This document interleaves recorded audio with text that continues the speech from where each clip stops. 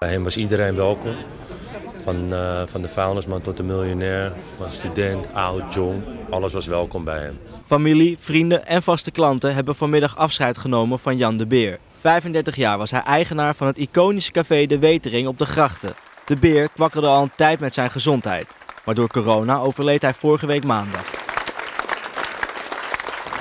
Een uh, harde werker, recht door zee en een, uh, iemand waar je een heel goed gesprek mee kon hebben. Wat gaat u het meest missen? Uh, zijn betrokkenheid en zijn grote mond. ja, zijn directheid. Ik bedoel, je weet wie je hebt dan. Uh, wat je wel kan uh, vragen en zeggen. En wat je niet moet doen. Laten we zeggen, een uh, eigenzinnig persoon. Je kan ook zeggen stront eigenwijs, maar eigenzinnig drukt het mooier uit.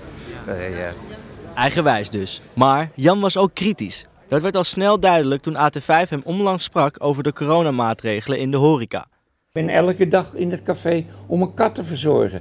En dan om zes uur zie ik in de buurt iedereen lopen sjouwen met kisten bier.